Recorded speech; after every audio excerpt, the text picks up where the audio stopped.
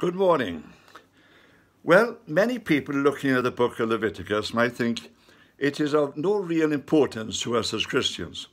It is just a series of regulations for offering sacrifices and organizing families and all the other things that Moses introduced to the people and the rules and regulations and laws he gave them in order that they, as a traveling nomadic community living in the desert, might be kept healthy. But the truth is, as we look at these regulations, we find that they are pertinent and they do apply to our lives as well. Not just as regulations and laws, but because of what Moses gave to the people, God was able to almost prophesy to the Jewish people and to us as Christians what he hoped to do with his world and how he hoped to bring it to a maturity. When Moses said to the people, You will keep the feast of Passover, they were remembering the time when they were released from Egypt, and the blood of the lamb had been put upon the doorposts of their house. But it was on the feast of Passover that Jesus died on the cross outside of Jerusalem. It was his blood which was shed for the salvation of the world.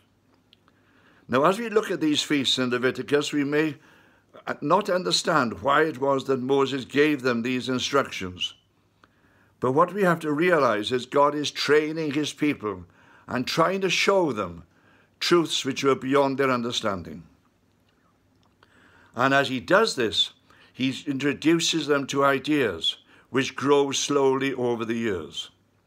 And so the Jews would gather every year in Jerusalem for the Feast of Passover, and they still gather there every year and Jewish communities throughout the world gather and remember the shedding of blood, the blood of the Lamb on the doorposts of the houses that released them from slavery.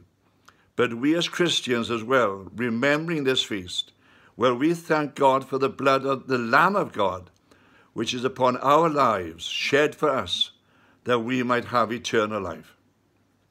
Now, you may not understand why it was that God chose this particular method for the salvation of souls. And although many theologians may try to explain it to you, you'll soon realize that they don't really understand it either. Because this is part of God's plan, and somehow, one day in eternity, we may see clearly how it is properly laid out. But for us in this world at this time, we just have to accept it that this was God's method, and therefore it was the best possible way that he could use in order that you and I might have eternal life. And then we looked at the Feast of Unleavened Bread, because the people being thrown out of Egypt had no time to allow their breads to ferment and to become leaven. So they had to eat bread as it was, unleavened bread. And immediately following the Feast of Passover, we have this Feast of Unleavened Bread. And we saw how God again used this particular thing to allow Jesus to lie in the tomb. The women could not go to the tomb on the following day after his death to anoint his body.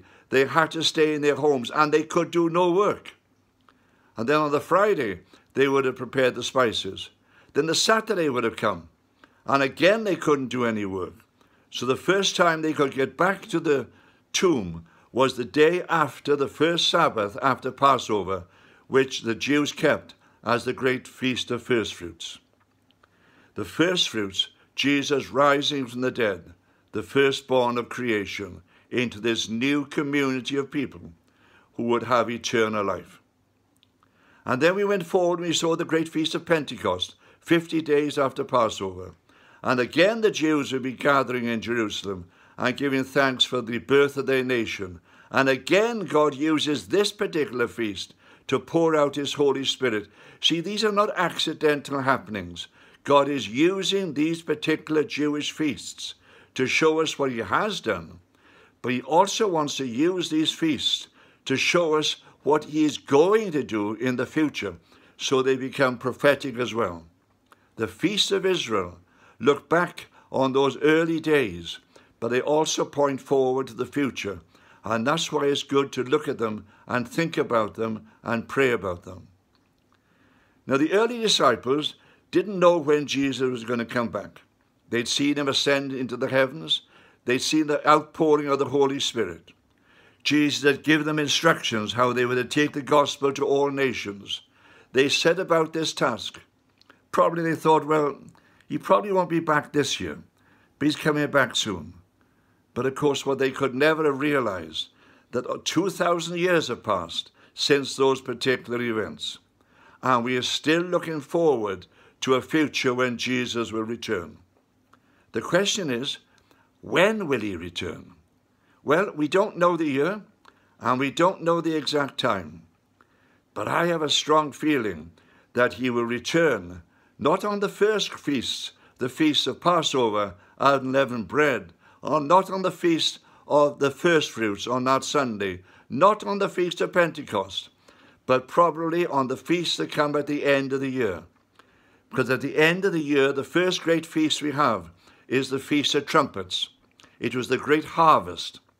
And Paul says to us, on the last trump, which was the, the 100th blowing of the trumpet, Paul says to us, at the last trump, the dead will be raised. We'll come back to these feasts again tomorrow. Amen.